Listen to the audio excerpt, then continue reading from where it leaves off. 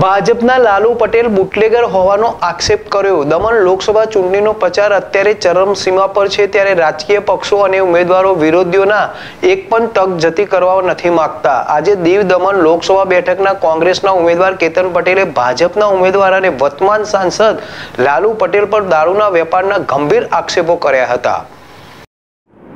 ભાજપના લાલુ પટેલ બુટલેગર હોવાનો આક્ષેપ કર્યો. મહિને સો કરોડનો ધંધો. કેતન પટેલે આક્ષેપ કર્યો હતો કે લાલુ પટેલ ગુજરાતમાં દારૂ મોકલાવીને મહિને સો કરોડ કમાય છે. તેના પત્ની તરુણાબેન અને પુત્ર પર ગુજરાતમાં દારૂના કેસ થયેલા છે.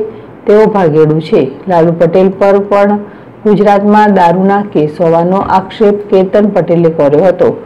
મેનિફેસ્ટોમાં ઓગણત્રીસ મુદ્દાઓ કોંગ્રેસના ઉમેદવાર કેતન પટેલે જ જે મેનિફેસ્ટો જાહેર કર્યા તેમાં હાલ ઓગણત્રીસ જેટલા મુદ્દા જાહેર કરવામાં આવ્યા છે.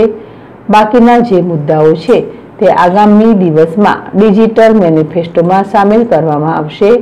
મુખ્ય મુદ્દાઓમાં બેરોજગારી, સરકારી નોકરી, ડોમિસાઇલ માર્ક આપવા જે ભાજપે બંધ કર્યા હતા તે અપાવવા, સ્થાનિક યુવાનોને સ્પોર્ટ્સ એક્ટિવિટી માટે સ્ટેડિયમ ઉપલબ્ધ કરાવવા. હાલ આ સ્ટેડિયમમાં કોન્ટ્રાક્ટ બેઝ પર આવ્યા છે. કે પરત લેવા વગેરેનો સમાવેશ કરવામાં આવ્યો છે.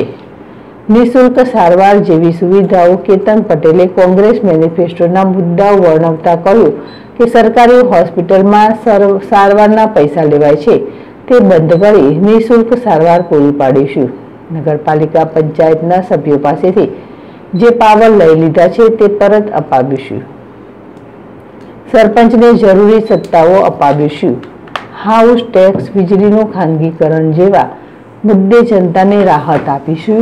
માછીમારો અને ઉદ્યોગો, ટુરિઝમ ક્ષેત્રે સંકળાયેલ સ્થાનિકોને અને પરપ્રાંતીય લોકો માટે જરૂરી સુવિધાઓ ઉપલબ્ધ કરાવીશું. હુસેન ભાદરકા જેડેશ ટીવી, ઉના.